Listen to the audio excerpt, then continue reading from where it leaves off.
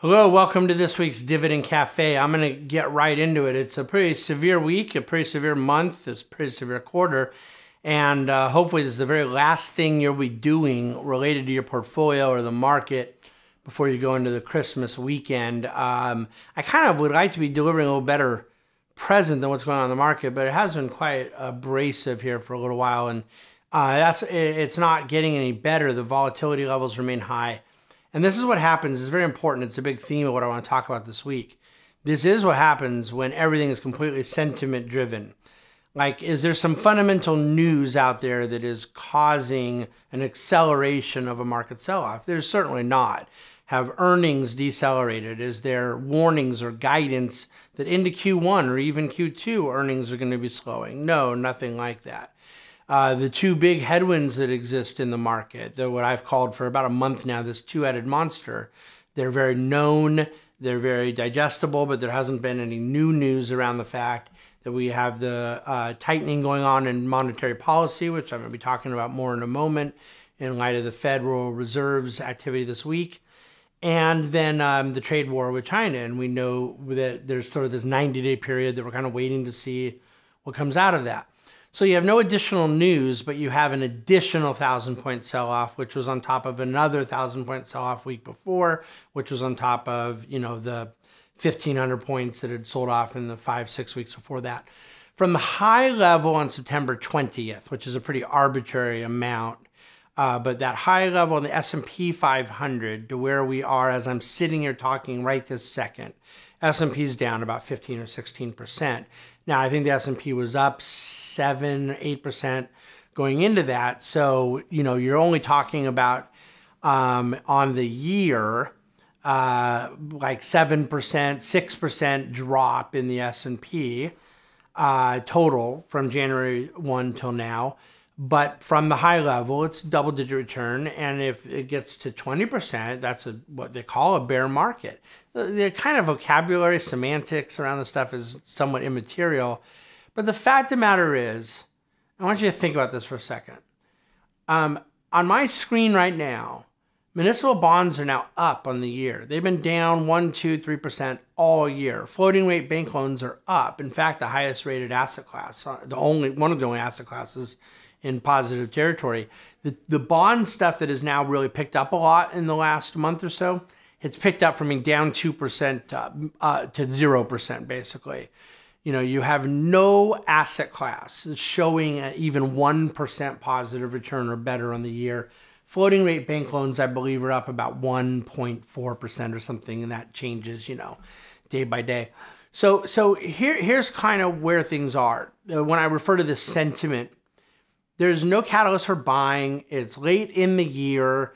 There are a lot of tax loss selling events to do, including our own. We had done that over the last couple of weeks, which is very sensible and efficient things to do. Um, but no institutional money managers that buy in size want to kind of jump out right now. And the overall backdrop has these different headwinds questions about oil, the Fed, China. Uh, I am literally blown away. I've had a lot of deja vu moments in my career, and I've had a lot of market events that felt like other market events. But I've never experienced something so eerily similar to late 2015, is what we're experiencing now, late 2018, where A, markets were accelerating themselves off into the end of the year. It had already been a very choppy year. Things were down, but they're not down huge. Like on the year, it's single digit drops. Um, but it's all centering on the same exact conversation topics oil's rather uh, sudden drop questions and concerns and headwinds around monetary policy tightening and then the global economic conditions. The way that played out is things sold off further in 2015 china dropped a bomb on global markets in january 2016 by announcing a huge amount of capital that left their country and more aggressive efforts to uh, weaken their currency and to kind of remain competitive. And you had a massive sell off in January. And then the way it ended up ending, and I'm not forecasting this is what happens in 2019. I'll be writing about this in this big white paper we're doing to kind of go into 2019. So I don't want to really give away the store here yet because I'm still kind of formulating the the thesis that we're working off of. But what did happen in 2016 is oil prices stabilized and began a rebound. Uh, China uh, ended up uh, going through a pretty extended period of a sort of soft landing in some of their economic slowdown, growth slowdown, and the um, the other issue about the Fed was that they chickened out entirely. They were forecasting four interest rate hikes in 2016, and they didn't do any of them. Will there be the same global central bank coordination in 2019 there was in 2016? I don't know the answer to that. Um, I talked this week in dividendcafe.com about oil, where it's a it's a conundrum because it isn't like the market wants high oil prices. Consumers and producers, I mean, oil is an input price. Oh, we like lower cost, but it's a collapsing oil price that the markets don't like because of what it means to capital expenditures, uh, industrial production, um, the bank loans that maybe underwrite some of that space, and high yield bond market. So it's more like is oil is a collapsing oil price a sign of weakness globally that markets are concerned about. But then a real high oil price is a problem because it's a high input cost that producers and consumers have to bear. So there's sort of like a sweet spot, this Goldilocks analogy. And I suspect you end up kind of finding that in between 50 and 60 is a rough estimate into early 2019. But but as far as the issues with the Fed, it dominated most of the market story this week. And and yet in theory you would think the Fed kind of said what the market wanted to do. I'm going to point out in a moment why they didn't. But what the market um, wants is for the Fed to say, okay, we've been tightening aggressively to get to normalization, and we think we've kind of gotten to normalization. And the inflationary fears that would cause us to continue accelerating taking liquidity out of the system. The inflationary fears are not there. So we're, we're crying uncle. We're, we're going to reverse course, so to speak. Well, what Chairman Powell said this week was basically that, but he didn't really act upon it.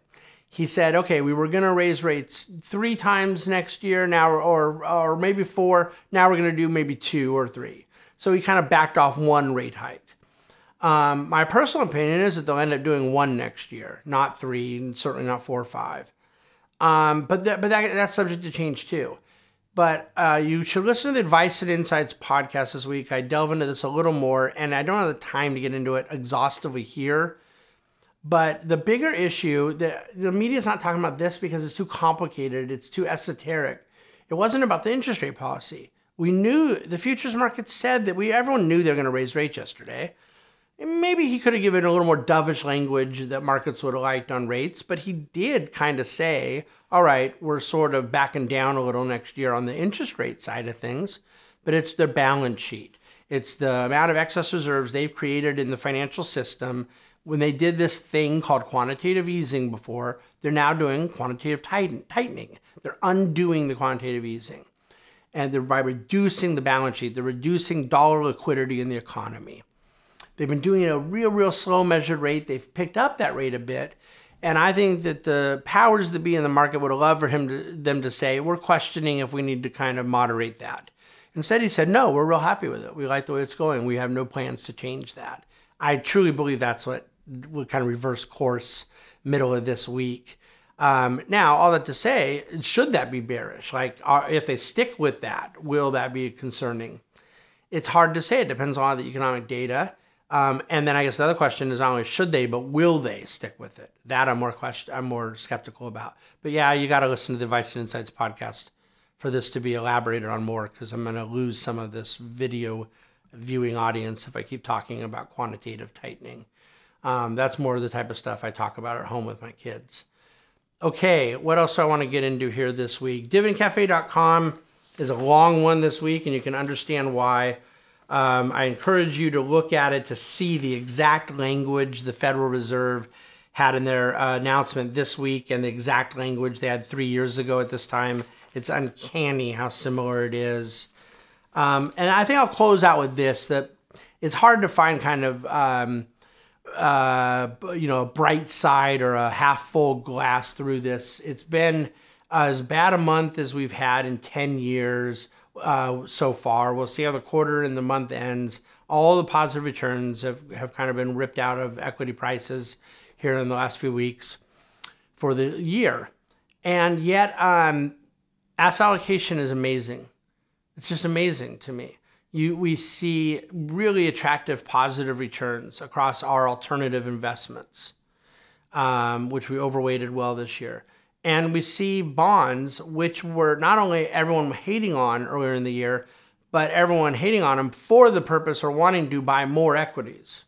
And now you've seen a significant buffer in the equity price downward volatility coming from the fixed incomes offsetting so much of that. As uh, treasury yields have dropped substantially, the fact that we're sitting here right now at a 2.8 10 year and we were at 3.25 like a month ago, that's a massive drop in bond yields, meaning a huge pickup in prices. And so everyone's saying, oh, you want short duration, we don't want long duration. The longer duration you had, the more money you've made in bonds. Um, there are no asset classes I've ever seen that confound people and defy their own human intuitions more than the bond market. It's a stunning um, vehicle for humiliation. And if not humiliation, at least humility. So an asset allocated portfolio is down, but it is down significantly less than what equities have incurred during the sell off because asset allocation is doing what it's supposed to do alternatives, bonds, different aspects of stocks fitting in uh, together. I'm really hesitant to go into what a lot of these asset classes have done on the year here at the very end of December because I want to get final year end data and give you some real special and, and updated finalized metrics at, at the beginning of 2019. But um, all that to say, behaviorally, it's there's very little to count on. I don't see this volatility stopping. I don't see a catalyst for rebound in the next week or two. Half of Wall Street won't even be working, and there's no real fundamental news coming. But it's fear driven. It's not fundamental driven, and history is not kind to people who capitulate to somebody else's fear. Your fundamentals in your portfolio and your asset allocation should drive what you're doing the fear embedded around the market right now is not fundamentally driven. And that is a fact. And it is um, about the best news I can share with you. I should say second best news. The best news is it's Christmas. Go enjoy your weekend, enjoy your family, enjoy your Christmas Eve and Christmas Day. And we'll uh, come back to you here soon enough. Reach out anytime. Merry Christmas.